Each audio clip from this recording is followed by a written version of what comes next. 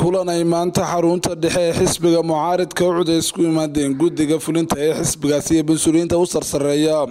Oo uu shir gudoominayay gudoomiyaha xisbigaasi injineer faysal cali waraabe ayaa waxa lagu shaaciyey xilliga uu qabsoomayo shirka golaha dhexe ee xisbiga ucud waxaana loo qondeeyey inuu qabsoomo sideed iyo labaatanka bishii sideedaad ee sanadkan.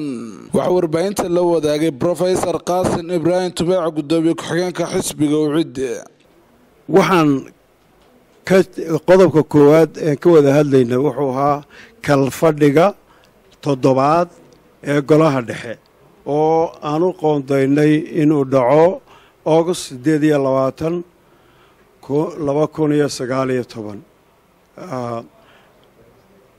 Tan oo ku beegan siddeed iyo toban sannadii guuraad ee xisbiga ucud eighteen years laga joogo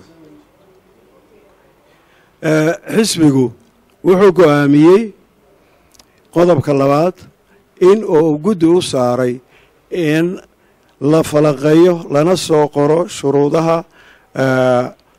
musharaxiinta baarlamanka iyo golaha golaha degaanka labadaba. Xisbigu wuxuu culays saaray in xeer loo sameeyo musharaxiinta aan isleenahay qoladan kursiga ku dhegtay ee baarlamanka ee shan iyo tobanka sane ay noo fadhiday. Bal inaan bedeli karno niman la bedeli kara maahe.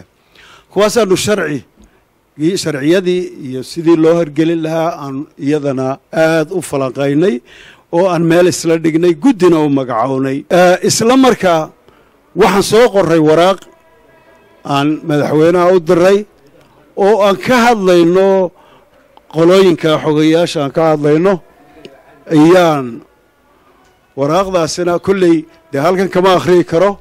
Ee waxa weeyaan madaxweyneha la taallaa. Kolleyba waxaan anagu danaynaynaa dalka iyo dadka. Calaqa macaari telefishinka star hargeysa